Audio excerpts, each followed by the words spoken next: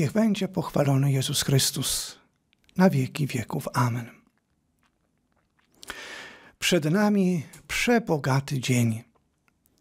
Rozpoczynamy nowy okres liturgiczny Adwent, kolejny Adwent w naszym życiu i przed nami kolejne święta Bożego Narodzenia. Ale dziś jest też 27 dzień listopada, kolejna rocznica, gdy Matka Najświętsza objawiła cudowny medalik. Było to 27 listopada 1830 roku w Paryżu na ulicy Dibach. A osobą, która doświadczyła tej łaski, była święta siostra Katarzyna Labure ze Zgromadzenia Sióstr Miłosierdzia świętego Wincentego a Paulo, które powszechnie nazywamy szarytkami. Powierzmy niepokalanej, patronce Adwentu, ten czas naszego spotkania ze Słowem Pana, słowami, które Matka Najświętsza sama podyktowała świętej siostrze Katarzynie i które są umieszczone na cudownym medaliku, który, jak myślę, wielu z nas nosi na sercu. O Maryjo, bez grzechu poczęta, módl się za nami, którzy się do Ciebie uciekamy. Pierwsza niedziela Adwentu. Daje nam Kościół Święty, Matka Nasza, Ewangelię według świętego Mateusza, rozdział 24, wiersze od 37 do 40. Jezus powiedział do swoich uczniów: Jak było za dni Noego, tak będzie z przyjściem syna człowieczego. Albowiem jak w czasie przed potopem jedli i pili, żenili się i za mąż wydawali aż do dnia, kiedy Noe wszedł do arki i nie spostrzegli się, aż przyszedł potop i pochłonął wszystkich, tak również będzie z przyjściem Syna Człowieczego. Wtedy dwóch będzie w polu, jeden będzie wzięty, drugi zostawiony. Dwie będą mleć na żarnach, jedna będzie wzięta, druga zostawiona. Czuwajcie więc, bo nie wiecie, w którym dniu Pan wasz przyjdzie. A to rozumiejcie. Gdyby gospodarz wiedział, o jakiej porze nocy nadejdzie złodziej, na pewno by czuwał i nie pozwoliłby włamać się do swego domu. Dlatego i wy bądźcie gotowi, bo o godzinie, której się nie domyślacie, Syn Człowieczy przyjdzie. Co jest dziś w naszym sercu, gdy wchodzimy w kolejny dzień i spotykamy się z Panem, który przychodzi do nas w swoim słowie? Chciałbym, by zrodziła się w naszym sercu szczera wdzięczność za kolejny etap, który jest za nami. A za nami kolejny rok liturgiczny, który przeżyliśmy dzięki łasce naszego Boga. Wchodząc w tę medytację, spójrzmy tak z lotu ptaka na ten miniony czas, by zauważyć, ile było w tym czasie znaków Bożej obecności. Spróbujmy sobie przypomnieć te szczególne wydarzenia, te przypadki, w których doświadczyliśmy Bożej obecności i błogosławieństwa. Sam fakt, że dziś żyjemy, jest najbardziej wyraźnym znakiem Jego hojności wobec nas, wobec mojego osobistego życia wrażliwość na Boże znaki, przez które On objawia swoją obecność w naszej codzienności i wdzięczność za Jego hojność, to dwie postawy, które chcielibyśmy w sobie pielęgnować w naszym życiu, także w okresie rozpoczynającego się Adwentu. Po tym wstępie idźmy do tekstu dzisiejszej Ewangelii. Ciekawe, że w pierwszą niedzielę Adwentu daje nam Kościół Święty słowo Pana Jezusa mówiące o czuwaniu. To słowo ukierunkowuje nas ku przyszło przyszłości. Gdy mówimy o czuwaniu, to nie myślimy o przeszłości, ale o przyszłości. Myśląc o przyszłości, możemy pytać siebie, myśląc o przeszłości, możemy pytać siebie, czy moja przeszłość czegoś mnie nauczyła? Czego mnie nauczyły moje sukcesy i radości? Czego mnie nauczyły moje ograniczenia czy nawet porażki? A jako człowiek wierzący pytam siebie, czy fakt, że przeżyłem do dzisiaj uczy mnie większego zaufania w Bożą opatrzność i w Bożą hojność. Czuwanie jest zaproszeniem ku przyszłości. Otwiera nas na przyszłość. A jednak sam Pan Jezus, zachęcając uczniów do czuwania, przywołuje wydarzenia, powiedzielibyśmy, zamierzchłych czasów. Przywołuje historię Noego i wydarzenie potopu. Przywołajmy ten opis jeszcze raz. Jezus powiedział do swoich uczniów: Jak było za dni Noego, tak będzie z przyjściem syna człowieczego.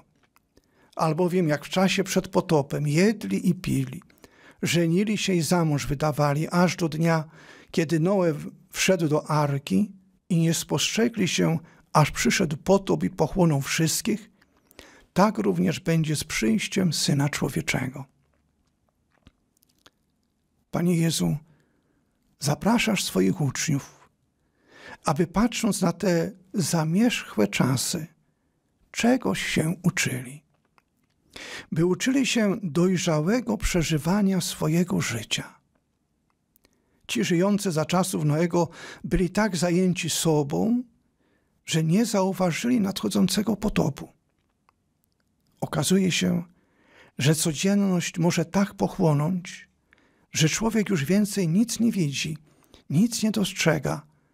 Nade wszystko nie dostrzega śladów Bożej obecności i Bożego błogosławieństwa.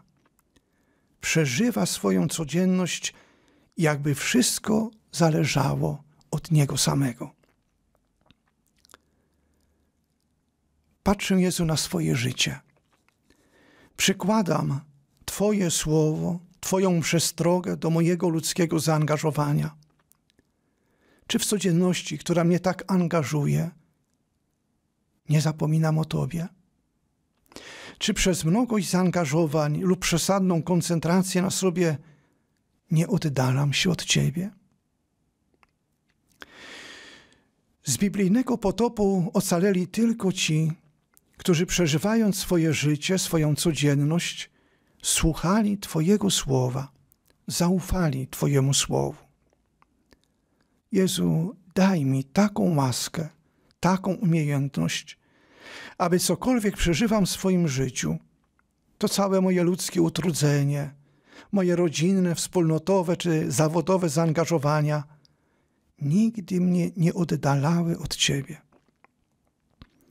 Oby ten kolejny adwent, który przyjmuję jako Twoją łaskę, Twój dar dla mojego życia i moich najbliższych, odnowił i odświeżył moją osobistą więź z Tobą. Jeszcze jedna myśl. W tym krótkim fragmencie, zaledwie osiem wierszy, Pan Jezus aż trzy razy używa tytułu Syn Człowieczy. I za każdym razem jest ten tytuł związany z Jego przyjściem. Syn Człowieczy przyjdzie. I czytając ma się wrażenie, że jest to wypowiedziane tak, że nie ma żadnej wątpliwości. On przyjdzie. Mam o tym pamiętać. A ponieważ nie wiem, kiedy on przyjdzie, mam czuwać i być gotowy na spotkanie z nim. Jezu, co ja mogę dziś jeszcze zrobić, by czuwać i być gotowym na Twoje przyjście? Kolejny adwent, który mi podarowujesz, nie chcę tego czasu zmarnować. Co ze swej strony mogę jeszcze uczynić, mając świadomość Twojej uprzedzającej łaski? Zanurzony w Twoje słowo, które rozważam, moje serce podpowiada mi kilka takich drogowskazów. Po pierwsze, pielęgnować relacje z Tobą.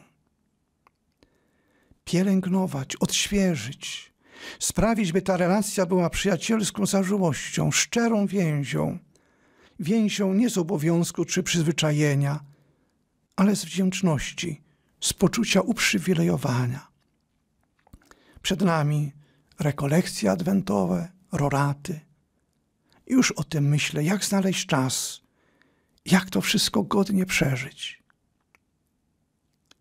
Po drugie, ufać, żyć nadzieją płynącą z tej głębokiej więzi z Tobą.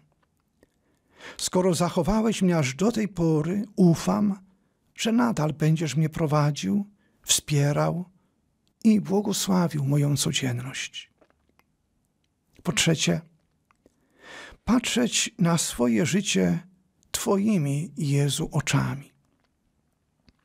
Przypominają się słowa, które święty Piotr napisał w swoim pierwszym liście. Zostaliście wykupieni drogocenną krwią Chrystusa, niepokalanego baranka. Wszystkie troski przerzućcie na Niego, gdyż Jemu zależy na Was. Adwent na nowo przypomina mi tajemnicę Twojego wcielenia, który jest gestem Twojej miłości do każdego z nas, także do mnie. Tak Bóg umiłował świat, że Syna swego jednorodzonego dał. Chcę patrzeć na moje życie przez tajemnicę Twojego wcielenia i przez tajemnicę Twojego krzyża, czyli Twojej miłości. I po czwarte, Jezu, uczysz mnie realizmu. Czas, jak mówimy, szybko płynie. Z biegiem lat wydaje się coraz szybciej. Wzbudź w moim sercu szczerą i prawdziwą tęsknotę za Tobą. Za Tobą obecny w moim życiu i za Tobą, który nieustannie wychodzisz na moje spotkanie w wieczności. Syn człowieczy przyjdzie. Ucz mnie czuwać i ucz mnie oczekiwać Twojego przyjścia. Raz jeszcze powierzmy tę medytację, ten dzień i cały czas Adwentu opiece niepokalanej, objawiającej cudowny medalik. O Maryjo, bez grzechu poczęta, módl się za nami, którzy się do Ciebie uciekamy. Na kolejny piękny dzień naszego życia i na piękny czas Adwentu niech Was błogosławi Bóg Wszechmogący, Ojciec i Syn i Duch Święty. Amen.